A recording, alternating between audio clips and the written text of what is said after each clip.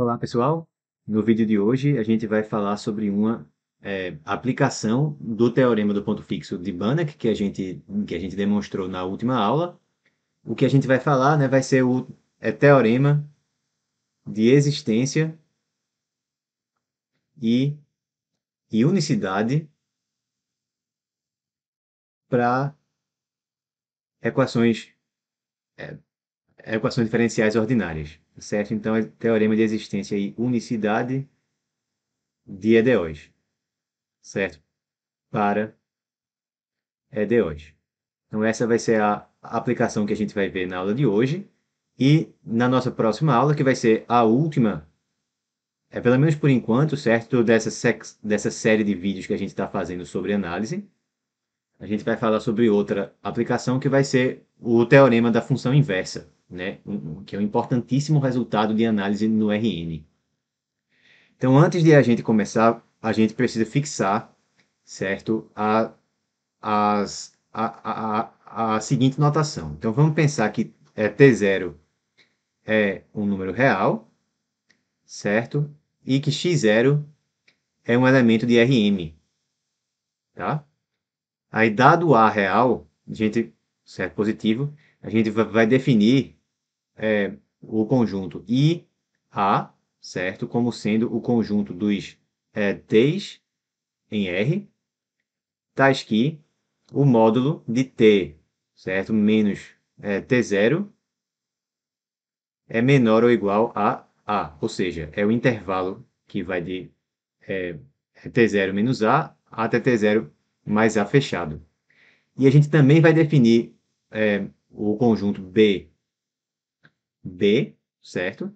Como sendo o conjunto dos elementos x de Rm, tais que a norma de x menos o x0 em Rm é menor ou igual a B, certo? Então, é, é uma, aqui a gente tem um intervalo com centro em é, T0 e raio A.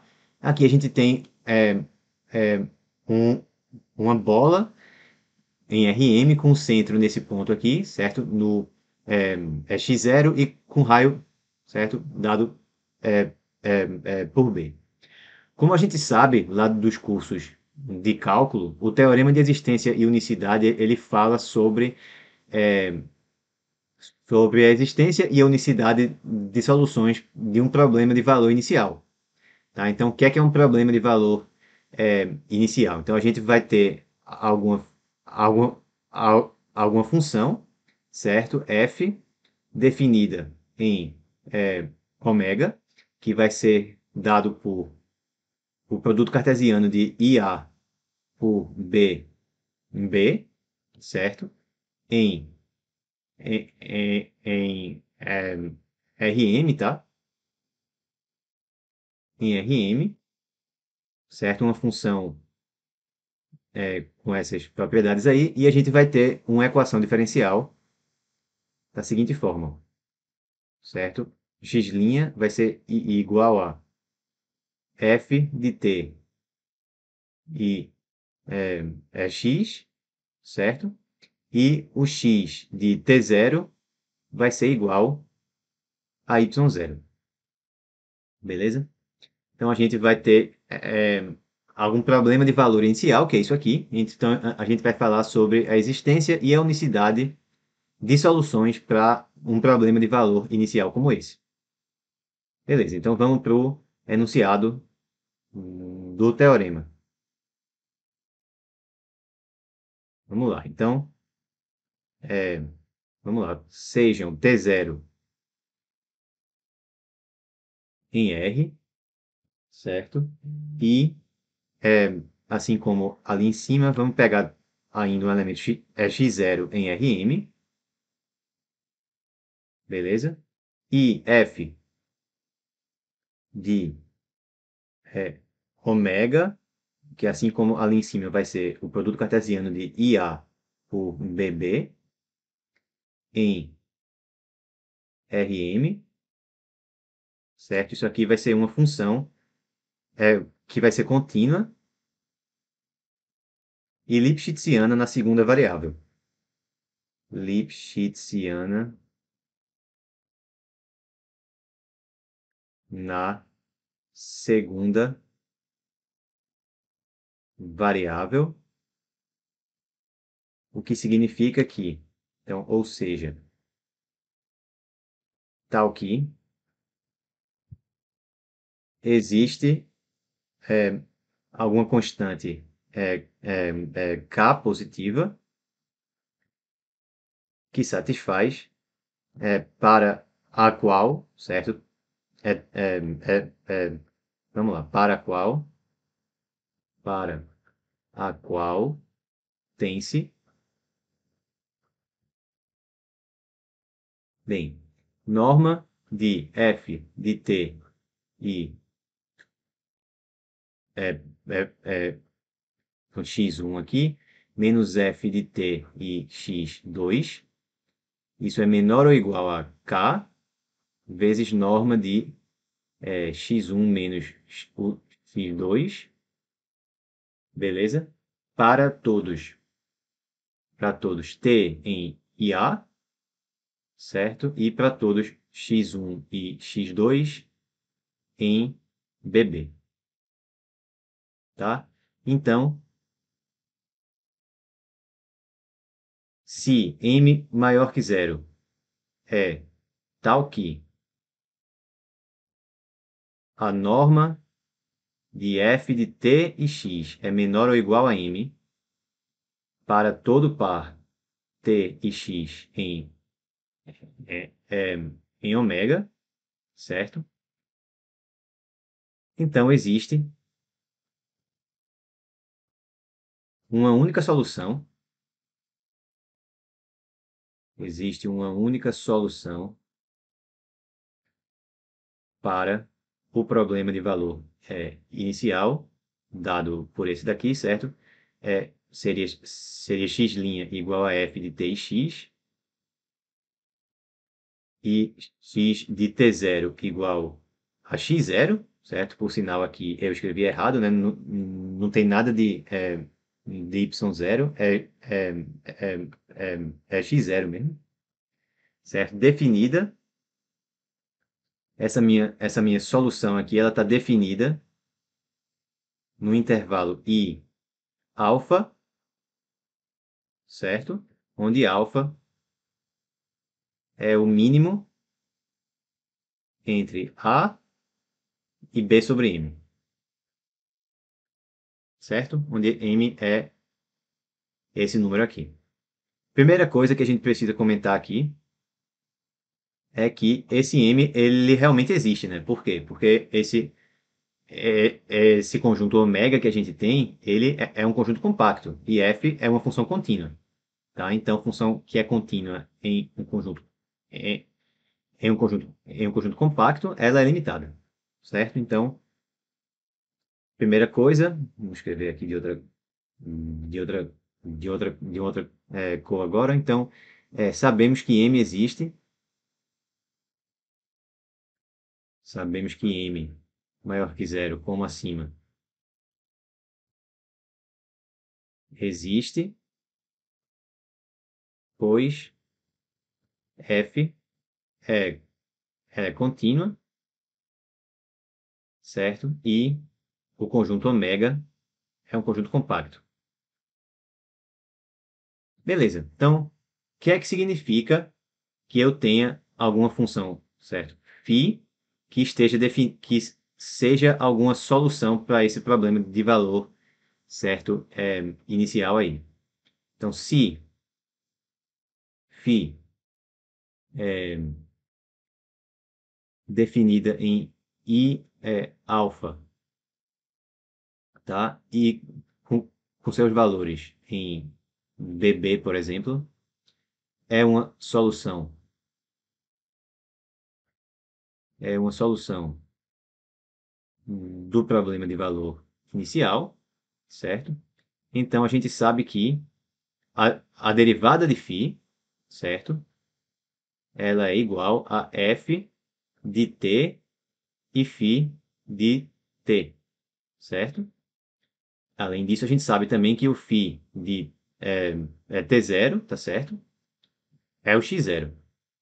Então, se eu integro de ambos os lados e uso o teorema fundamental do cálculo, tá? então, pelo teorema fundamental do cálculo, a gente tem o seguinte, ó, a integral do lado esquerdo é quem?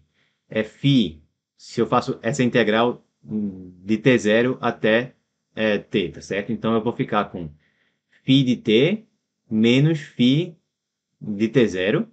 φ de t0 é o x0, né? Jogo lá para o outro lado. Então, vai ficar φ de t é igual a, ao nosso ponto, certo? É x0 mais a integral de t0 até t de f de s φ de s ds. Certo? Reciprocamente, se φ satisfaz é, essa equação integral aí, certo? Então, se a gente deriva de ambos os lados, a gente vai voltar para a, é, a equação diferencial da gente por conta do teorema fundamental do cálculo, beleza? E também daqui a gente sabe que o φ de é, é t0 é igual a, ao ponto x0. Tá? Então, dizer que φ é uma solução equivale a dizer que φ satisfaz essa, essa equação integral aqui. Certo? Então, isso aqui é uma outra forma de a gente, de a gente descrever soluções desse problema de valor inicial. Beleza? Repara também que φ é, ela é uma função contínua, né? Ela é uma função que é contínua, definida de Iα em, certo? O, é no conjunto BB, é, no conjunto BB. E a gente sabe que o conjunto das funções contínuas de Iα em BB é um espaço métrico que é completo quando munido da métrica uniforme. Tá? Então, C e alfa B, B tá? o conjunto das funções contínuas de I alfa em B, B, munido da métrica uniforme, né? Como é que é a métrica uniforme? Eu tenho distância de é, φ1 até φ2 é justamente o é, sup para t em i alfa, certo? Da distância de é, φ1 de t, certo? Até φ2 de t. Beleza? Então, munido dessa métrica aí, é, ele é um espaço completo. Então, a gente está no contexto do teorema de ponto fixo que a gente trabalhou no último vídeo tá? É um espaço métrico completo. Espaço métrico completo. Tá bom, então vamos definir alguma função que vai ser uma candidata há alguma contração, certo? Nesse espaço. Então, se φ está nesse nosso conjunto das funções contínuas de I alfa em B, B, tá? Aí vamos definir o seguinte. A função f de φ de t vai ser dada pelo que a gente tem do lado de cá. Ó. Tá? Do lado direito dessa igualdade daqui. Então, vai ser o ponto certo é, é, é, é, é x0 mais a integral de t0 até t de f de s φ de s ds. Aí repara o seguinte, ó, que φ é uma solução do problema de valor inicial, né, se o lado direito daqui for igual a φ. Isso é a mesma coisa que dizer o quê? Que φ é um ponto fixo da função f, ou seja, f de φ é φ. Tá bom? Então, a gente vê aqui que φ é solução do problema de valor inicial se só se, φ é ponto fixo de f. Então, pronto, a gente tem que mostrar que f, certo? Primeiro, que eu posso ver a f como uma função que é, certo, contínua de i alfa em b beta nesse de i alfa em b, b nesse mesmo espaço, certo? Primeira coisa. Então, por que que f de φ é uma função contínua? Bem, de novo, é pelo teorema funda fundamental do cálculo, né? Isso aqui é uma função contínua. Segunda coisa, eu tenho que mostrar agora que se eu pego isso, essa função aqui, os valores dela também estão dentro de BB, desde que eu pegue t, tá certo? Em, é, no meu conjunto de alfa. Tá bom? Então, vamos lá. Se t pertence a i alfa, então f de φ de t pertence ao b, b. Por quê? Para a gente ver isso, a gente tem que fazer o quê? A gente tem que calcular a distância desse cara até o x0, né? E mostrar que essa distância é menor ou igual ao b, tá bom? Então, como é que vai ficar? A gente vai ter norma de f de φ de t menos o x0. O que é que é isso, né? Então, se eu passo o x0 lá para o outro lado, ficou só a minha integral. Então, isso aqui vai ser igual à norma da integral de é, t0 até t. E aqui dentro eu fico com f de s, φ de s, certo? ds. Fechei aqui. Jogo a norma para dentro da, da, da integral. Então, vai ficar menor ou igual a integral de t0 até t, certo? Da norma de f de s e φ de s, certo? Pronto, ds. Agora, a φ de s, ó, eu estou supondo que a minha φ de s, ela pertence ó, ao meu conjunto, certo? BB. E eu estou também supondo que o meu Szinho aqui, ó, ele pertence ao, ao Ialfa. Tá? Estou pegando dentro do meu Ialfa. E o Ialfa está contido no IA, ó, porque o alfa é menor ou igual do que o A. Certo? Ou seja, o meu ponto é, S e φ de S pertence ao ômega, ao produto cartesiano de IA por, certo? É, é, é, é, é por BB. Logo, eu posso usar essa minha é, estimativa aqui lá naquelas desigualdades. Quem está aqui dentro é menor ou igual a m. Então, isso aí vai ficar menor ou igual a m vezes integral de t0 até t de ds. Certo? Como eu não sei aí quem é, qual dos dois é maior, isso aqui vai me dar m módulo de t menos é, t0, tá certo?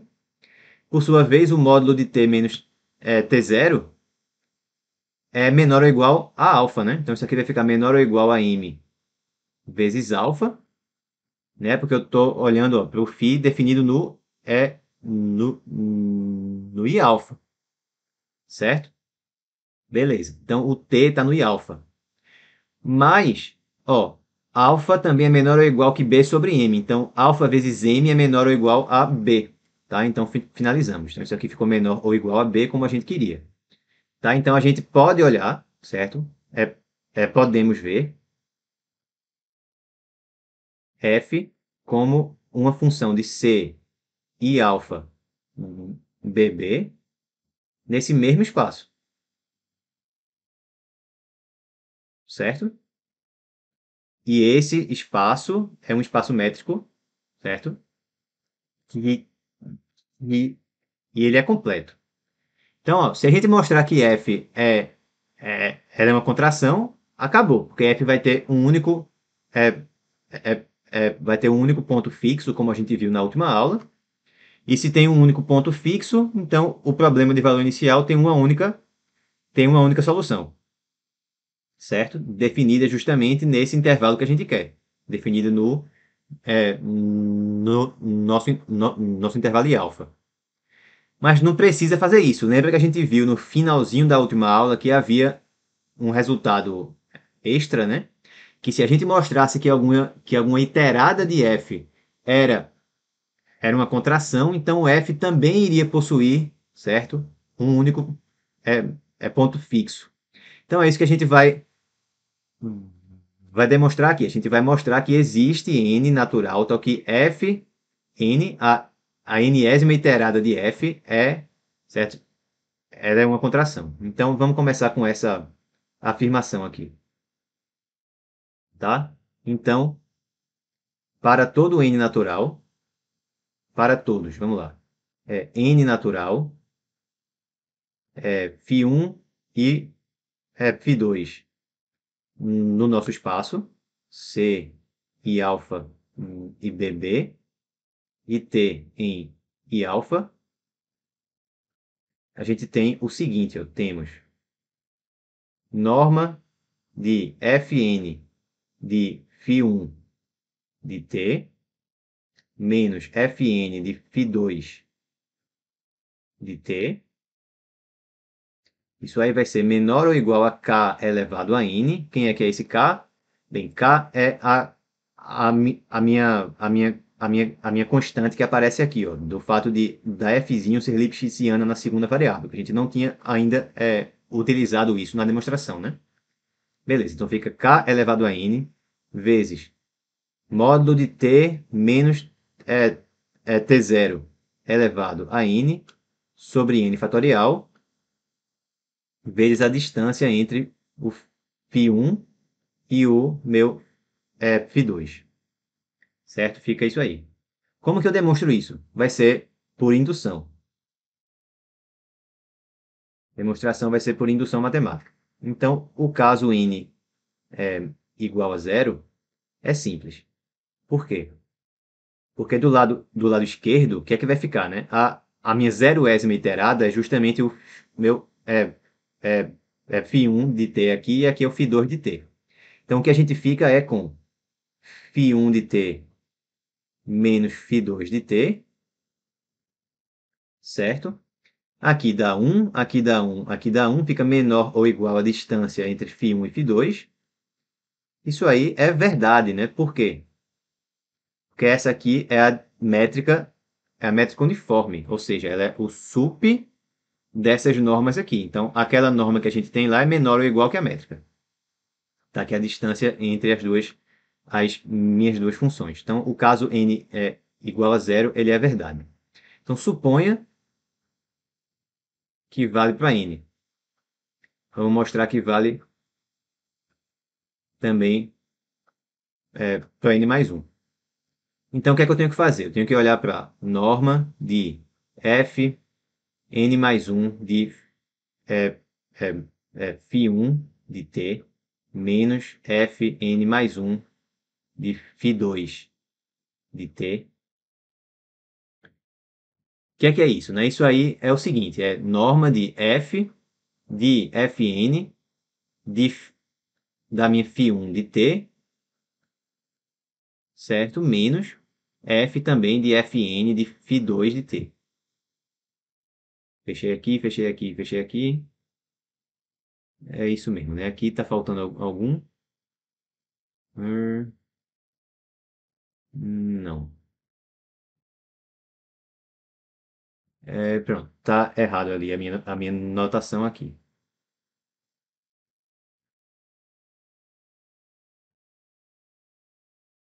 Espera aí que ainda está errado. Deixa eu ajeitar ali. Apaga aqui. Pronto, fecha aqui. Aqui tem o T, fechei. E fechei, pronto. Então, é, é a mesma coisa que isso, certo? Agora eu uso quem é a F, né? Quem é que é F disso? F disso tá aqui, ó. Beleza? No caso, o T está no lugar errado, né? T está no lugar errado. Vamos colocar ele no lugar certo para ficar tudo certinho. Então, fecha aqui, T fica aqui, certo? Fecha aqui também e o T fica aqui. Beleza. Então, o que é que é isso, né? Que é, que é F de, de alguém de T? É, é o ponto, certo? O ponto da gente, a, aí o x0 mais a integral, e aqui na segunda variável da minha fzinha, entra a função que eu estou usando aqui dentro. Portanto, nas duas, eu iria ter aqui, eu iria ficar com o meu é, é, é, é, é x0 somando e aqui com ele subtraindo. Então, iria cancelar.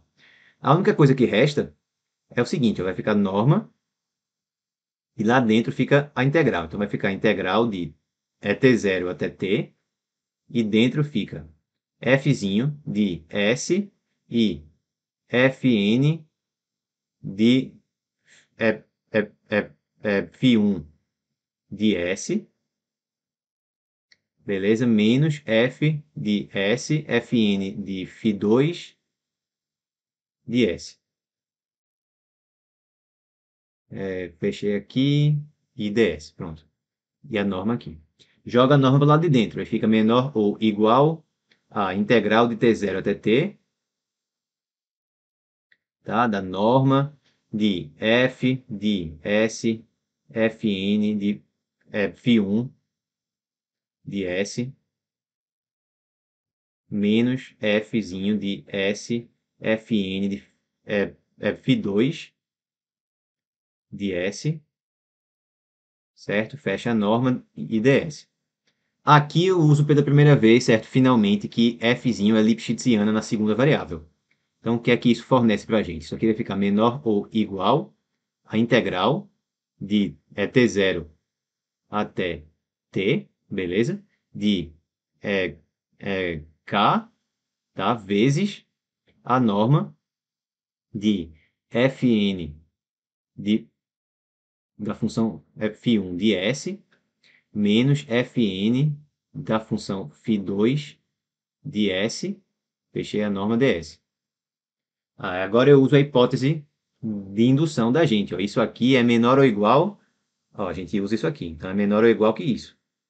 Juntando tudo, você vai ficar menor ou igual a... Bem, eu já tenho esse k aqui, vai sair outro k elevado a n, então vai ficar k elevado a n mais 1 certo? A distância de φ1 até φ2 também vai sair aqui. E o n fatorial lá embaixo também sai. Tá? Então, ficamos com isso aqui. Dentro da integral, ainda restou a integral de t0 até t, beleza? t0 até t de quem? De módulo de t menos é, t0 elevado a n de s, né? No caso, não é t ali como está dentro da integral, vai ser, aqui vai ser S. Pronto, fazendo essa, essa integral aí, o que é que vai dar? A gente vai ter igual a k elevado a n mais 1 vezes, vamos colocar já da forma certa, né? Então vai ficar módulo de t menos, é, é, é, menos o meu é, é, t0 é, é elevado a n mais 1 vezes a distância de φ1 até φ2, certo? Sobre, sobre n mais 1, que sai daqui da, da integral, tá? E já tinha o n fatorial daqui de baixo, então ficou n mais 1 fatorial. Ou seja, é o que a gente queria, né? Ok por indução, certo? A, afirmação decorre, certo? Segue é, por conta da indução. Beleza? Daí, certo?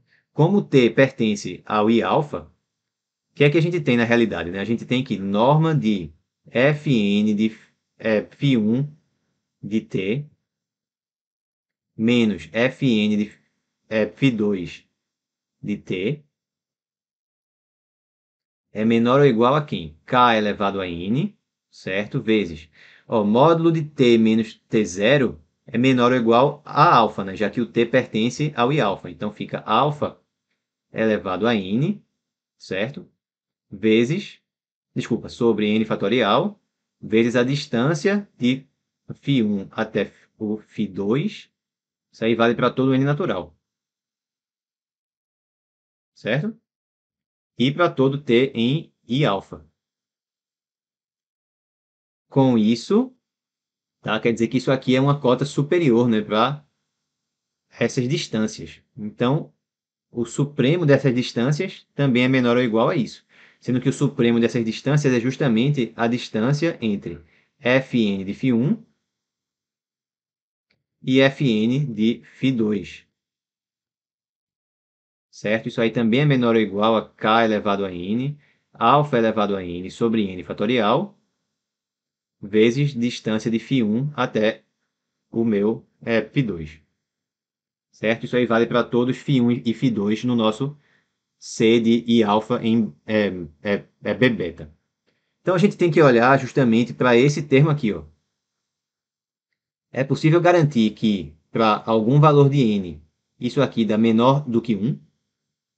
Se a gente conseguir, então, a f com esse n específico vai ser uma contração, tá certo? Então, como a gente mostrou lá naquele corolário da última aula, f tem um único, certo? Vai ter um único ponto fixo, e aí acabou a demonstração. O fato é que a série com esse termo geral, certo? Somatório de k elevado a n, alfa elevado a n sobre n fatorial, ela é, é uma série convergente. É fácil verificar isso, por exemplo, pelo teste da razão, né? já que tem essas potências aí em cima e esse fatorial aqui embaixo.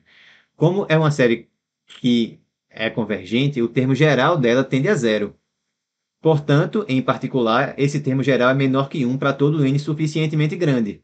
Para qualquer um desses n suficientemente é, grandes, isso aqui é menor que 1, portanto, Fn, certo? Para esses n's, é uma contração. E aí acabou a demonstração, tá certo?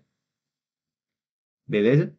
Então, no caso, não foi exatamente o teorema do ponto fixo que a gente usou, foi a, aquele, aquele corolário da última aula, que se eu consigo mostrar aqui em que, que para alguma função de um espaço simétrico completo nele mesmo, se alguma iterada dela tem, se alguma iterada dela é, é uma contração, então a própria função tem um único ponto fixo.